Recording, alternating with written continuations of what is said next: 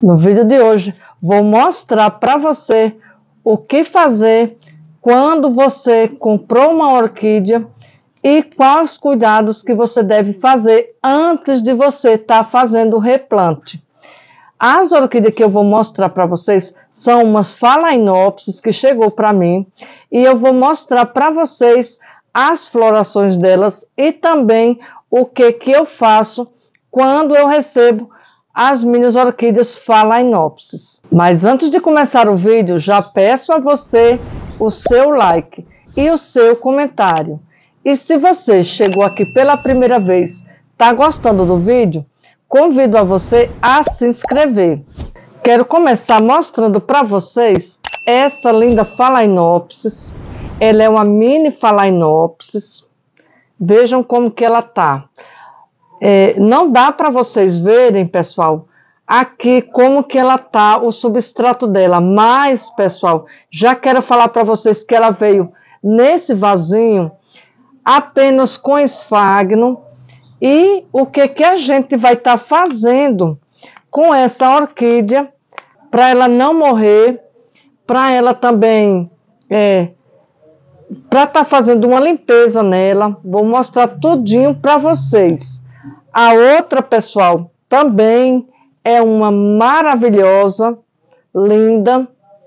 Vejam a bela floração dessa Phalaenopsis. Já essa daqui, pessoal, veio nesse vasinho. Vejam as raízes. Chegou para mim desse jeito aqui, olha. Toda molhada, né, úmida. Vejam as raízes, como que estão. E também, pessoal, é o que eu vou estar tá mostrando para vocês o que é que eu vou fazer com ela. Veja, é esse rizoma como que está. Ela está cultivada, pessoal, somente no chip de coco. Mas eu não vou fazer o replante dessas orquídeas hoje.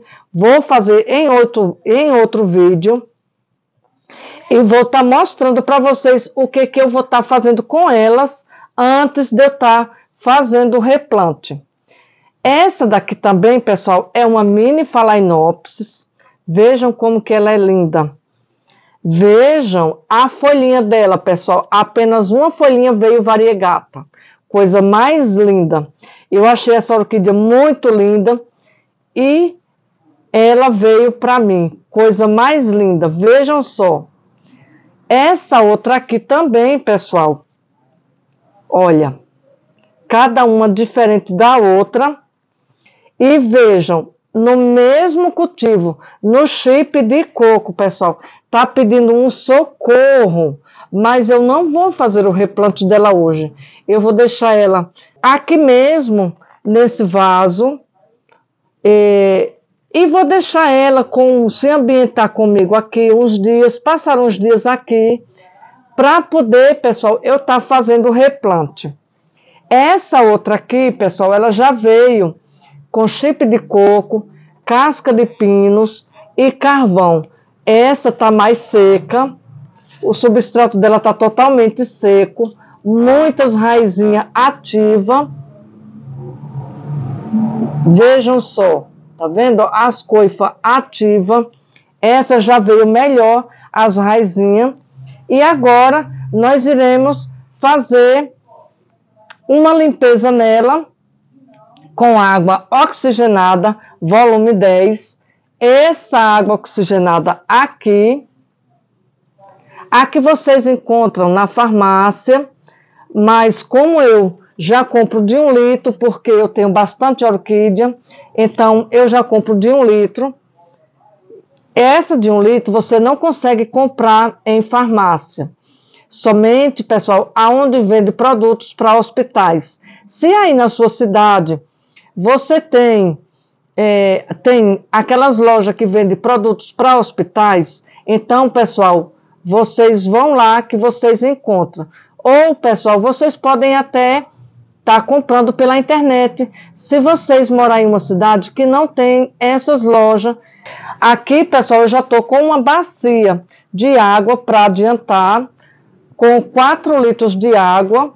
Vou estar tá colocando, pessoal, aqui é, oito tampinhas dessa daqui, Ou se você tiver daquela pequena, pode ser quatro colheres de sopa.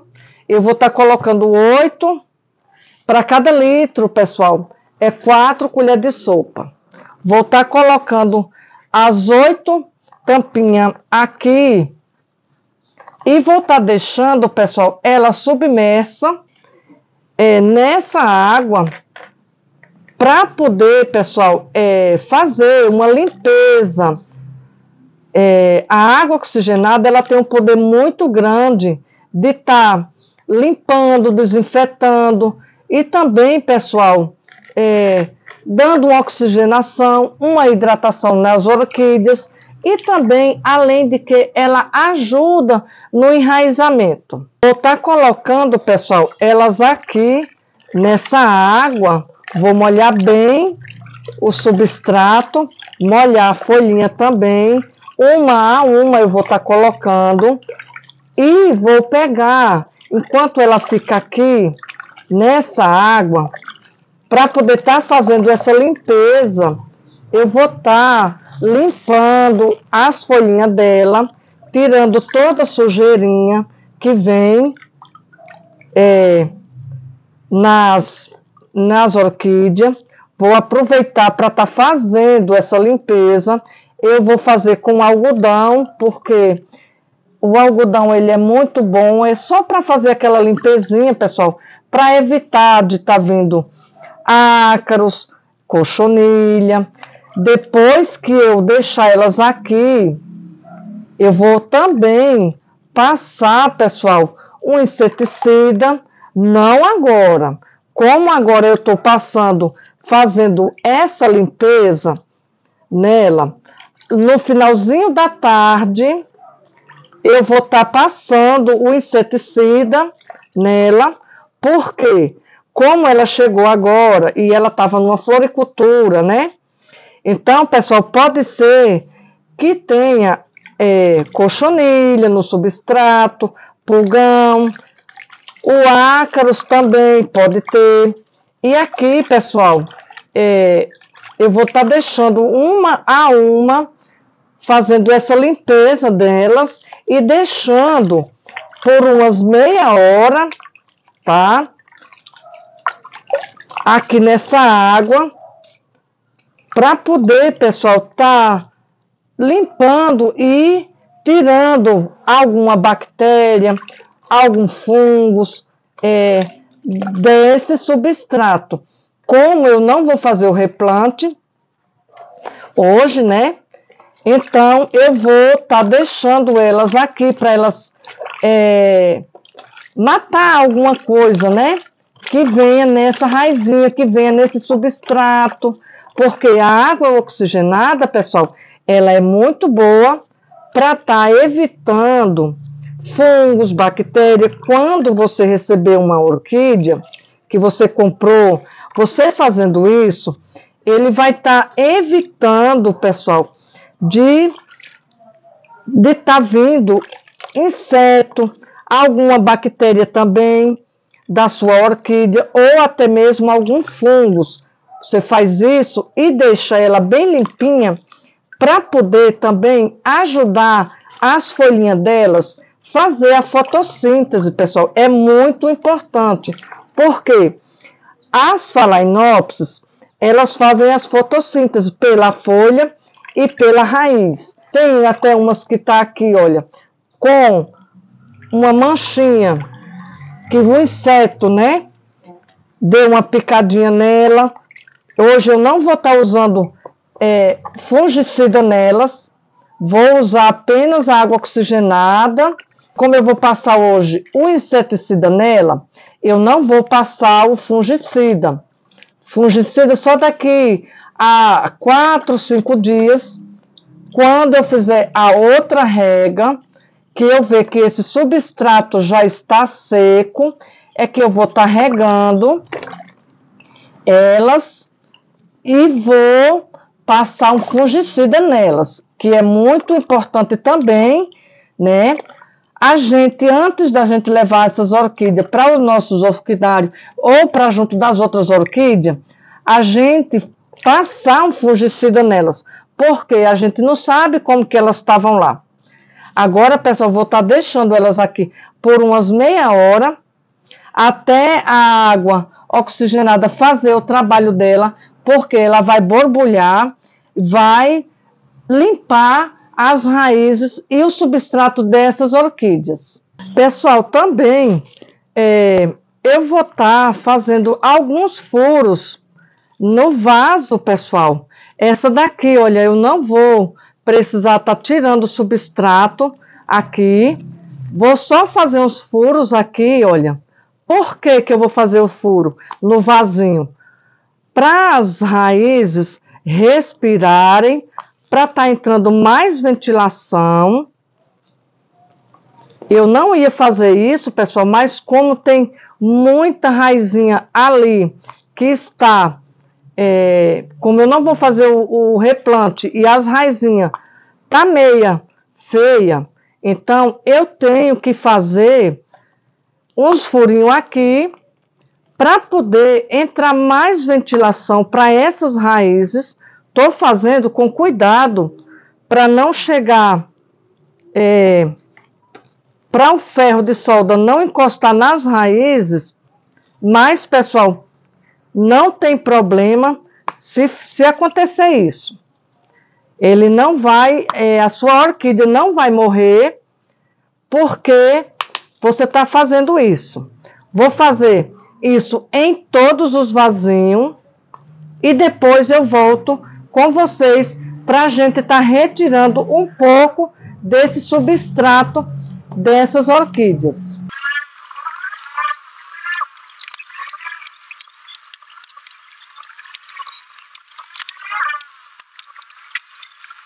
Quando vocês forem fazer os furinhos com ferro de solda nos vasinhos, é bom você também tá usando uma máscara devido, pessoal, a fumaça, a, o plástico, ele solta uma fumaça tóxica. Pessoal, agora nós vamos tirar um pouco desse substrato, dessa phalaenopsis, para poder, pessoal, é, deixar o rizominha dela livre, o pseudo-rizoma livre. Por quê? Para não acontecer, pessoal, de dar apodrecimento no caulezinho dela. Tem que deixar o quanto mais livre puder você deixar. É bom você fazer isso aí com as suas orquídeas. Deixar ela totalmente livre. Aqui em cima, pessoal, não vou colocar nada, nem mesmo a casca de arroz, porque eu não vou demorar muito para fazer o replante dessa orquídea. Quando eu for fazer o replante dela, aí sim, pessoal, eu vou estar tá usando a casca de arroz para estar tá colocando nela. Vejam só, pessoal, como que eu tô, que eu tô deixando ela livre, ó. O pseudo-rizoma dela todo livre. Vejam, aqui dá até de ver que tá tudo bem com o pseudo, o pseudo-rizoma dela, tá tudo bem com o caulezinho dela. É assim que a gente tem que deixar. E com esses furinhos, é, vai entrar mais ventilação para, pessoal, as raizinhas vir secar rápido. Vejam essa, pessoal, como que veio cheio de chip de coco.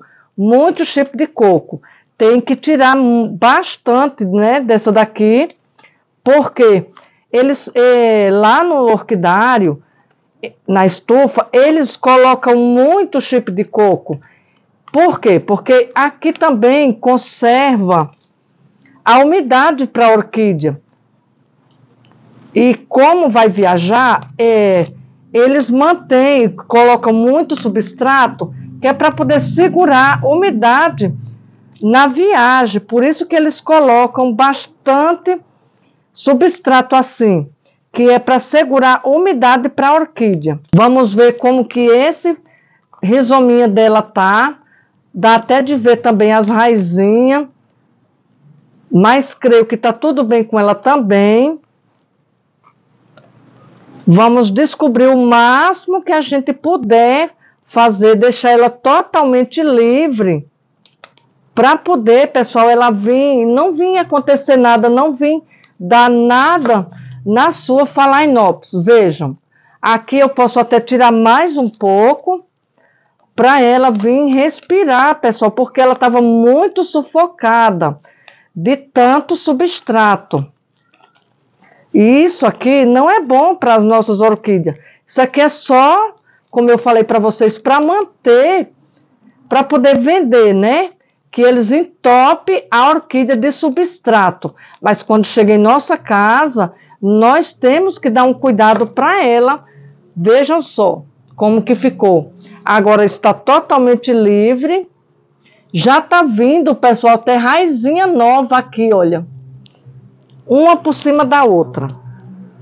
Essa daqui, pessoal, como eu vou tirar só um pouco, olha, porque ela não tá, ela não tem muito substrato no rizoma dela, mas eu vou tirar somente um pouco para poder ver como que tá. Essas orquídeas, pessoal, foi praticamente, ó, recém-plantado. Olha como que tá, toda solta, tá vendo? Então foi recém-plantada só para poder fazer a viagem. Olha só, eu vou descobrir essa e olha só como que as raizinhas dela tá aqui, pessoal. Vejam só. Se, eu não, se a gente não fizer isso, o que que acontece? Além do chip de coco, ainda tem aquela bucha. Eu não vou poder demorar para fazer o replante dessas orquídeas. Vou ter que vir fazer rápido, pessoal. Tá essa outra aqui. A mini, olha, tá com bastante esfagno. Vou estar tá tirando com cuidado. Vou até ver como que tá, se dá para eu tirar um pouco, levando, puxar ela um pouco. Para mim tirar um pouco desse esfagno porque tem muito esfagno aqui. Para mim, isso aqui não é interessante. Olha, como ela veio com essa bucha, eu vou, pessoal, tirar todo esse esfagno. Vou deixar apenas a bucha. E naquela outra ali também, pessoal, vou deixar ela só na bucha. Vou tirar aquele substrato.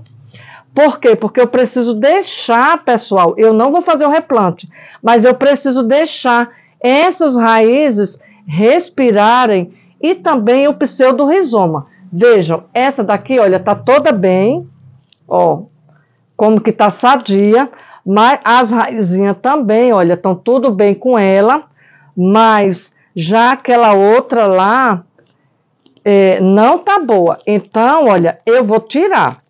Como eu não ia tirar, mas eu resolvi, porque ela tem essa buchinha e esse substrato aqui, vejam como que ele saiu fácil, porque tá solto. Ó, vou deixar ela livre, sem nenhum substrato, para poder, pessoal, ela respirar melhor e não vir fungar nesse rizoma. Como ela é uma orquídea muito bonita, diferente, e essa folhinha pintalgada variegata principalmente, eu tenho que cuidar o máximo desse rizoma para não perder. Foi muito bom eu ter feito isso. E aí, pessoal, o que que vocês acharam dessas diquinhas que eu deixei para vocês fazerem nas suas orquídeas, principalmente nas suas phalaenopsis, quando vocês comprarem, o que que vocês devem fazer?